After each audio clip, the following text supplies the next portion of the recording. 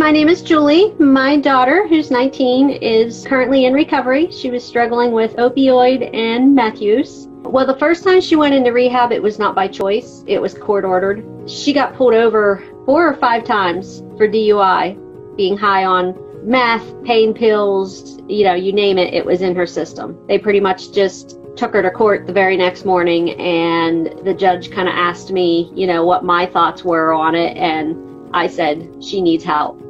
And he agreed with me and sent her off to juvenile rehab because at that time she was only 17. So I, I mean, up until this happened with her, I'm guilty of the same thing where you hear someone's on drugs and you automatically think, oh, well, that person's a loser. Well, you chose to do this drug. But then it happened to my daughter, my sweet, loving daughter. I just wish more people could see them as people.